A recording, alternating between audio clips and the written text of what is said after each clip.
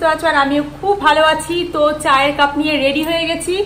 গতকাল তো এত কাছাকাছি করেছি ওয়েদার প্রচণ্ড ভাবে খারাপ, আজকে সকাল থেকে রোদ ওঠেনি সেটাই চিন্তা করছি। আর ছাদে এখন গিয়ে দই টাঙাবো, চাটা খেয়ে। তারপরে জামা কাপড় মেলবো। তো চলো সঙ্গে থাকো। ওটস আর কলা ছেলেকে সকালে খেতে দিয়েছি। আর এখন প্রথমে আমি নেল পলিশটাকে তুলে ফেলছি। অনেক দিন হয়েছে পড়েছি সেই যে দুর্গা পুজোর সময় পড়েছিলাম আর কেমন একটা খাপ ছাড়া হয়ে গেছে। তো এই দেখো, পুরো পরিষ্কার করে ফেললাম। এরপরে আমি চলে গেছি ছাদে। ছাদে গিয়ে প্রথমে পচা দড়িগুলো সব কেটে ফেলছি। আর দড়িগুলো সত্যি খুবই খারাপ হয়ে গেছে মানে কোনো ওজন জামা কাপড় যদি দিয়ে দেওয়া হয় না, কোনো সময় ছিঁড়ে পড়বে, তখন আমার খাটনি তিন গুণ বেড়ে যাবে। এই জন্য আমি এখন ওই দড়িগুলো কেটে এখন নতুন দড়ি টাঙিয়ে দিচ্ছি। যাতে আবার এখন অনেক দিন চলে যাবে মানে একবার টাঙালে পরে প্রায় ছয় সাত মাস চলে যায় টানা। তো এখন আমি টাঙিয়ে ফেললাম।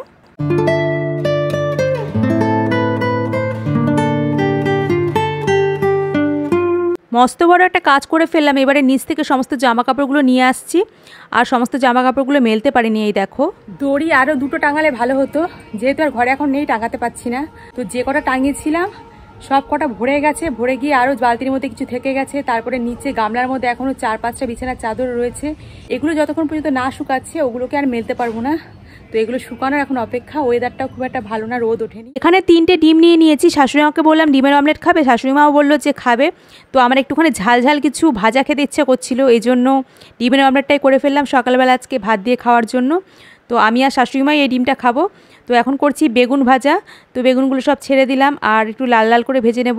তো শাশুড়ি মা একটু বেগুন ভাজাটা খেতে পছন্দ করে। তারপরে আজকে করব অরহর ডাল। ওদিকে কুকারের মধ্যে ডাল সিদ্ধ বসিয়ে দিয়েছি আর এখন কিছু কাটাকাটি করব।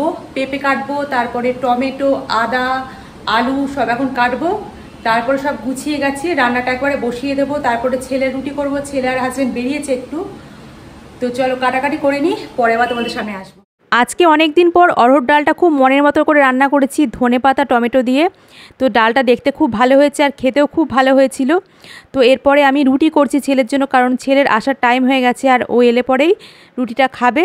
এজন্য এখন রুটিগুলো সব বেলে নিচ্ছি। তো এদিকে শেঁকা হয়ে গেছে।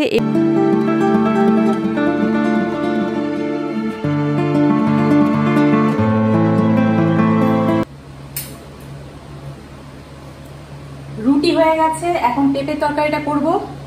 আর তরকারিটা বসিয়ে আমি এই পেঁপেটা খাব। দেখো শাশুড়ি মাকেও দিয়েছি।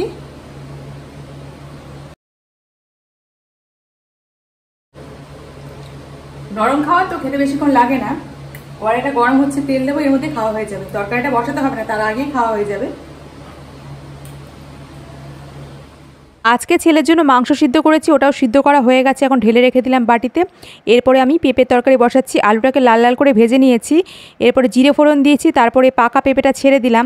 আর পাকা পেঁপের তরকারি খেতে খুব ভালো লাগে, আর এটা পেটের পক্ষেও খুবই ভালো। আর এটাতে চিনি খুব একটা দিতে হয় না। তো আমি স্বাদের জন্য সমস্ত মশলাগুলো একটু একটু করে দিচ্ছি, চিনিটাও একটু দিয়েছি, চিনিটা দিলে একটু কালারটা ভালো হয় তরকারির নুন, হলুদ, আদা, লঙ্কা, বাটা আর জিরের গুঁড়ো দিয়ে প্লেন তরকারিটা রান্না করছি, আর দু টুকরো টমেটো দিয়েছি।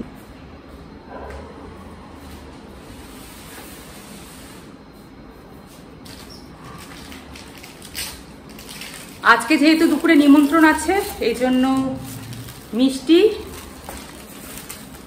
ফুলের মালা আর একটা গেঞ্জি। দাও, গেঞ্জিটা তোমাদের বের করে দেখাচ্ছি।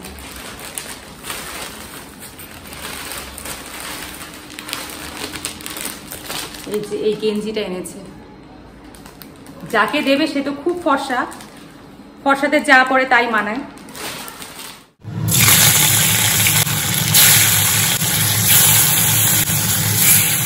এই হলো পাঁচটা চাদর, এগুলো মেলা যায়নি। আজকে সকাল থেকে কি কি রান্না করলাম বলো তো? প্রথমেই করেছি ওটস, যেটা রেকর্ডিং করিনি। তারপরে করেছি ডিমের অমলেট বেগুন ভাজা, তারপরে ডাল, তারপরে মাঝখানে আবার রুটি করেছিলাম, কচুর তরকারি, পেঁপের তরকারি। এখন আবার মাছটাকে রান্না করছি। এতগুলো পদ হয়েছে আজকে। রান্নাঘরে আজকে কতটা সময় আমার কেটে গেল বলো তো? এখন ছাদের দিকে যাচ্ছিলাম। দেখে আসি কতটা কি শুকালো। আমি জানি শুকায়নি, কারণ আজকে রোদ ওঠেনি। হাজব্যান্ড এখন চলল নিমন্ত্রণ রক্ষা করতে। তারপরে আমি চলে এসেছি পুজোর ঘরে। তো পুজোর কাজটা করছি আর সবাইকে সুন্দর করে ফুল দিয়ে সাজিয়েছি। আর এখন রজনীগন্ধা ফুল, গাঁদা ফুল সব কিছুর দাম অনেকটা কমে গেছে। এই যে মালাগুলো, এই মালাগুলো কিছুদিন আগেও প্রচুর দাম নিত।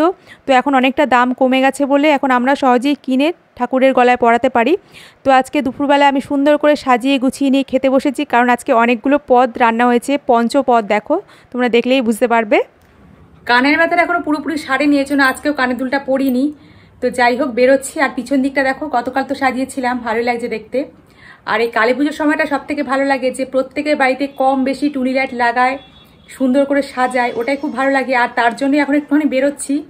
তো প্রত্যেক বছরই লাইট মানে যেগুলো কেনা হয়, সেগুলো দু চারটে করে নষ্ট হয়ে যায়। তো এখন একটুখানি গিয়ে দেখি যে কি পাওয়া যায়। মানে অল্প কিছু আনব, বেশি কিছু আনব না।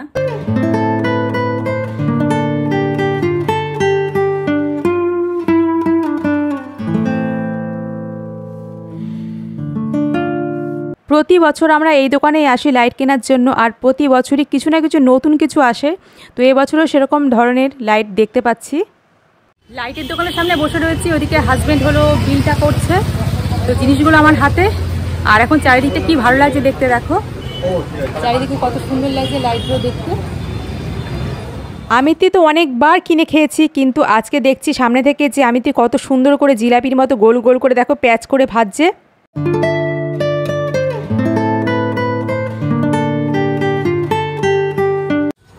দোকানের অমৃতি খুব ভালো এই দেখো গরম গরম ভেজে রেখেছে এই দেখো। চিনে রাখো ওনাকে দাদাকে। বাড়িতে এসে আর এতটুকু সময় নষ্ট করিনি তো অমৃতগুলো যেহেতু প্রচণ্ড গরম রয়েছে ছেলেকে শাশুড়ি মাকে দিয়ে দিয়েছি আমিও নিয়ে নিয়েছি।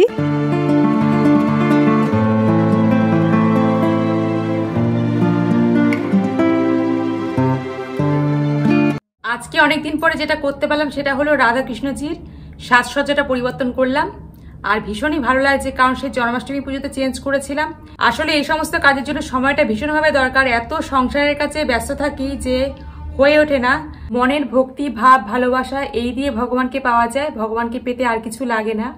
তো আমরা যদিও উপরই অনেক কিছু করি, তো সেটা আমাদের সাধ্যমতো আমরা চেষ্টা করি। কিন্তু যখন তুমি পারবে না, তখন তুমি কি করবে? তখন তোমার মনের ভক্তি, মনের ভাব, ভালোবাসা সেটাকে কেউ কখনো আটকাতে পারে না। কোনো কর্ম, কোনো কিছুই না। তুমি কর্ম করতে করতেও ভগবানকে ডাকতে পারো।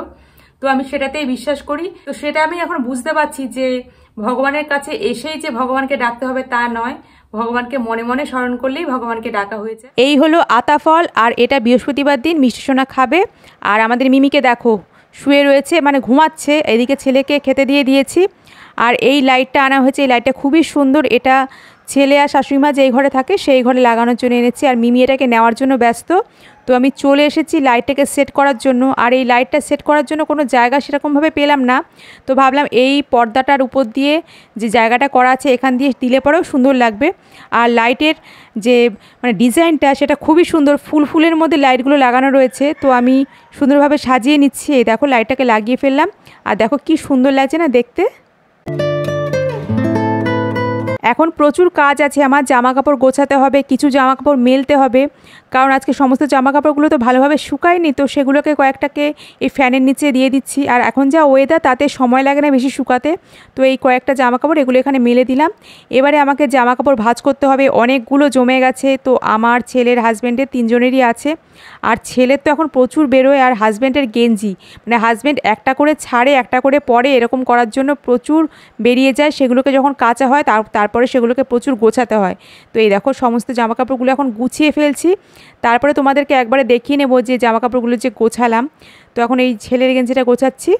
আর সুন্দর করে না গোছালে নিজেরও ভালো লাগে না। এই দেখো সবই সুন্দর করে গুছিয়ে ফেলেছি। সমস্ত যা যা জামা কাপড় ছিল সব গুছিয়ে জায়গা মতো রেখে দিয়েছি। আর আজকে তো আমাদের দুপুরবেলা আজকে নিমন্ত্রণ ছিল শাশুড়ি শাশুড়িমা তো এখন কোথাও যায় না। তো শাশুড়িমার কথা বাদ দিলাম। আর ছেলেও এখন খুব নিয়ম মেনে খায়, বাইরের খাওয়ার একেবারে পুরোপুরি ছেড়ে দিয়েছে। বর্তমান সময়ের কথা বলছি, ভবিষ্যতে কি করবে জানি না। আর আমিও বছর দুয়েক যাবৎ আমিও কোনো শ্রাদ্ধ বাড়িতে খাই না, আমার ভালো লাগে না। তো তার জন্য হাজব্যান্ড আজকে একাই চলে গেছে এবং রাগ করে গেছে আমাদেরকে নিয়ে যেতে পারিনি বলে। শ্রাদ্ধ বাড়িটা এমন একটা জায়গা যেখানে সবাই কিন্তু খেতে পারে না, অনেকেই খায় না কিন্তু।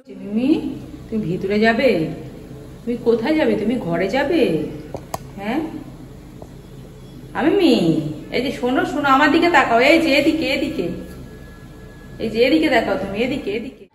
আজকে পাঁচটা লাইটের চেন এনেছি তার মধ্যে চারটে হলো বাইরে টাঙানোর জন্য আর একটা হলো স্পেশাল ঘরের জন্য। সেটা ঘরেরটা তো টাঙিয়ে দিয়েছি। আর চারটে কি কালার আনলাম দেখো তোমরা। তো ছেলে ওখানে টেস্ট করছে তোমাদেরকে দেখাচ্ছি চারটে কালার বুঝতে জ্বলছে না কেন?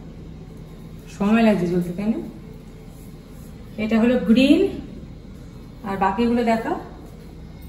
ক্যামেরা খুব ভালো বোঝা যাচ্ছে না, দেখেছিস? সবুজ রঙটা বোঝাই যাচ্ছে না। এটা অরেঞ্জ কালার এই কালারটা খুব সুন্দর লাগছে দেখতে। চারটে যদি একসাথে জলে কি সুন্দর লাগবে না দেখতে? এটা কি কালার এটা হলুদ, না?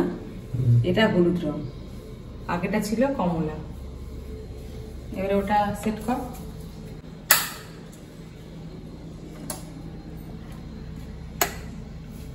আর এটা হলো ব্লু